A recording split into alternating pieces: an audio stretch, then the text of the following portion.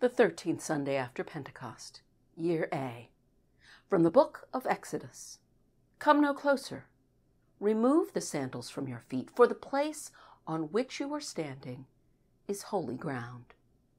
In the name of the Father, and of the Son, and of the Holy Spirit. Amen.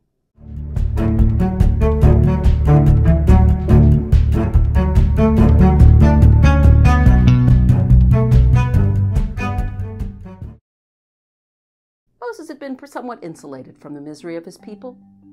When God tells Moses to take off his shoes, it isn't an indication of divine displeasure with footgear, but rather a call for Moses to step out of all the self preserving roles that separate him from the reality being experienced by his people.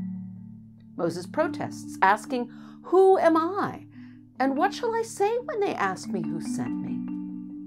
God answers both questions when he says to Moses, I am who I am.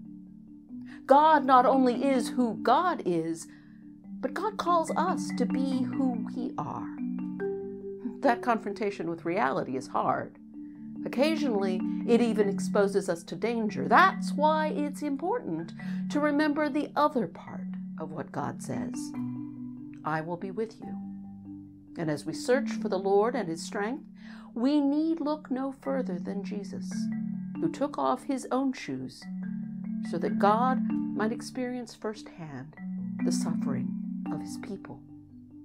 Jesus explains this and that He must be killed and on the third day be raised. To deny this necessity for suffering is to side with Satan, the accuser, who argues that God cannot claim solidarity with our pain. In the letter to the Romans, St. Paul tells us not to be haughty, but to associate with the lowly, even to the point of feeding our hungry enemies and giving drink to them when they're thirsty.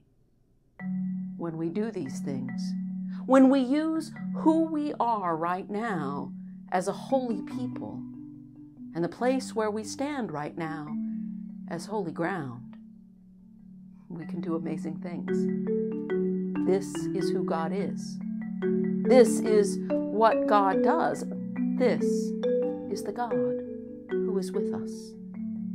Let the hearts of those who seek the Lord rejoice. In the name of the Father, and of the Son,